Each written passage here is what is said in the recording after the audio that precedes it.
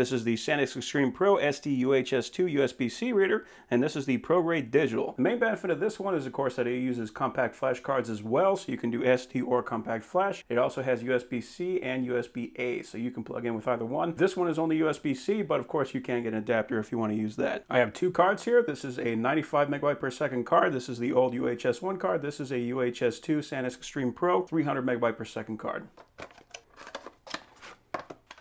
Okay, so there is the SanDisk. Nice small package, that's going to be good if you're going to be throwing this thing in your bag. And here is the ProGrade. Oh, that's actually magnetic. That's kind of cool.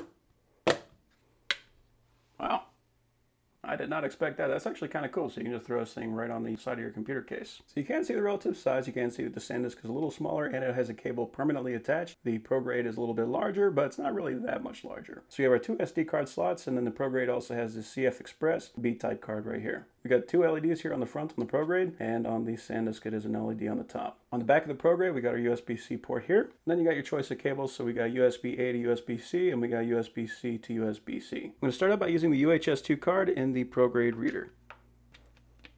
So we can see we do have a yellow light when it is powered on. And let's go ahead and start testing. And it is flashing, so we know that it is actually doing something.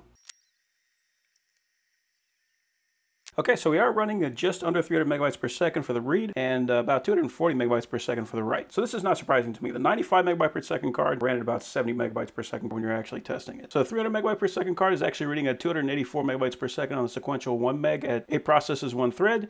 And for the random 4K, 1 process, 1 thread is reading at 8.7 megabytes per second. So nothing out of the ordinary here. Most of the stuff that you're going to be doing is going to be at the megabytes, you know, or above megabytes. So this is probably going to be closer to what you're going to be actually seeing. For writing, it's actually a little bit slower than I was hoping for. We're getting 241 megabytes per second and 2.5 megabytes per second at the random 4K one process, one thread. The writing is definitely not 300 megabytes per second. Let's see if the other reader makes a difference there. There is definitely a difference in the length of the cord. I don't know how much of a, a, big deal that is for me in particular, but this one is about a foot and a half. This one's only a few inches. All right, you can see the LED is lighting up white on top, and we'll start over. And we can't see that the LED is blinking, so we can't tell that this thing is in use. All right, so on the left, I got the ProGrade. On the right, I got the SanDisk. So we were getting 284 on the ProGrade. We're getting 249 on the SanDisk. Now, this is under perfect conditions, and as the files themselves are going to vary in their complexity, there's also going to be a variation in the speed. So this is not perfect, but this is going to tell you what the maximum that we can get out of this card. We are actually getting a little bit faster on the random 4K, one process, one thread on the SanDisk than we were on the ProGrade. Again, that we're probably never going to actually use that because anything we're putting on these cards, especially if we're running from a camera, is going to be in the megabyte size. The writing is a little bit slower. Now, again, that's not going to be a big deal on account of we're not going to be writing files to that SD card from these readers very often, so I don't think we should. Anytime we're writing to that card, it's probably going to be from the camera. Now, maybe you're using the SD card for actually writing, and if you are, then you are going to be getting a little bit faster with the ProGrade. And we're looking at just under 20 megabytes per second write. So what this means for me, what I'm going to be using this for is going to be for copying files from the SD card to my computer. And if I was using the ProGrade and I had that card completely full, so if I had 128 gigabytes, we'll say, divided by 284 megabytes per second divided by 60 seconds, it would take about seven and a half minutes to write the entirety of that card to my hard drive, providing the hard drive could read that fast, which it probably should be able to. And if I was using the SanDisk, divided by 249 megabytes per second divided by 60 seconds, it would take about 8.5. So there is a one minute difference at the maximum speed. So it's not really that big of a deal unless it's that big of a deal. If you want the absolute best, then the ProGrade is still the way to go. So yes, time is money, but also the SanDisk is a little smaller. ProGrade does also read compact flash cards, and the SanDisk is cheaper. So you have to, you know, argue that out with yourself. Now, the next thing I want to know is, does it make a difference if I'm using a UHS 1 card with the UHS 2 reader? So this is a very old card. This is not the 170 megabyte per second card that everybody's used to. This is a 95 megabyte per second card. This is about 10 years old. Now, this right away we're reading at 96 megabytes per second, so that is in fact faster even with the SanDisk card reader than my old UHS 1 card reader. So yes, UHS 2 does make a difference.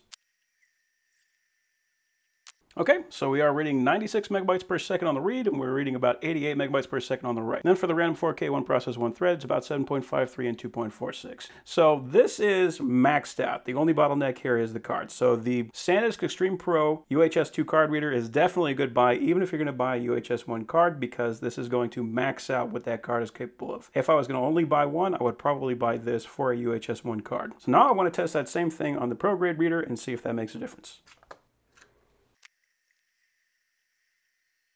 Okay, so this is actually kind of mind-boggling to me. So this actually does read a little bit faster than the SanDisk. I don't know how, but it's actually reading about 97.51 megabytes per second, which means it's about 2.5 megabytes per second faster than what card is even rated for. And that's about one megabyte per second faster than the SanDisk. So let me pull that one up. So we can see that most of these numbers are pretty close.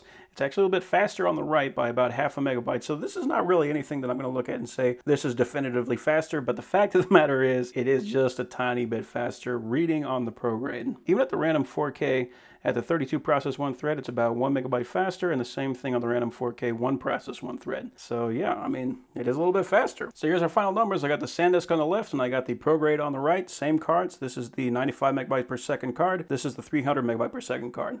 So it's a little bit faster on the ProGrade. So what this leaves me with is if I was going to get something for a UHS-1 card, and I wanted the absolute best throughput that I could get for a UHS-1 card, I would get the SanDisk just because it's cheaper. But if I was going to be using UHS-2 cards, then I could get either one of these. This would be perfectly fine. But if I wanted the absolute best I could get, the ProGrade still is the best that you can possibly get. And with the fact that it can also read compact Flash Express cards, that really just makes this the best overall professional card reader that you can get.